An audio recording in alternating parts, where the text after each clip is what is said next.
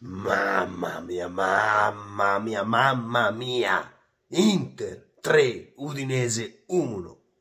Ma un'unica parola. Ladri. Ladri a caratteri cubitali, no? Rompete il cazzo a tutte le squadre e poi siete voi e vi fate dare i rigorini, rigore inesistente, prima palla, poi giocatore, poi Lukaku al primo tentativo lo sbaglia e va ribattuto. Chi li ribatte sempre rigorini? Ce lo ricordiamo noi gobbi, no? Chi li ribatte sempre? Li ribattono sempre sti prescritti, questi prescritti di merda.